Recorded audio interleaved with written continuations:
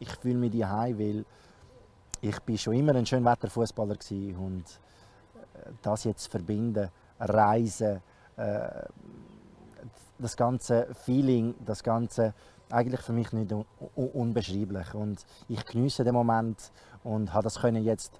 zu meiner, sage jetzt mal Teilzeit ähm, Status annehmen und reisen. Das ist Lifestyle pur. Wenn man Beachsoccer in den kalten Ländern würde spielen dann äh, wäre ich immer noch dabei. Wie gesagt, ähm,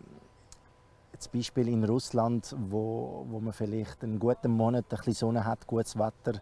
und ich habe doch fünf Jahre in Russland spielen, wird das Jahr auch wieder in Russland spielen, mich messen mit den weltbesten Spielern und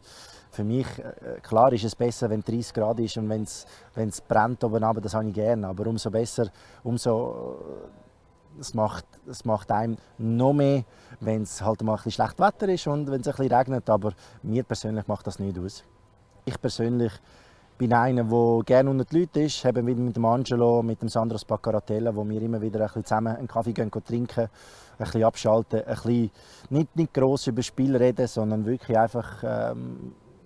über Sachen, egal was es ist, speziell über Spiel nicht groß, sondern wir unterhalten uns, entspannen bei einem Kaffee und sind dann wirklich nachher auch äh, erholt und dementsprechend auch fokussiert auf den Match.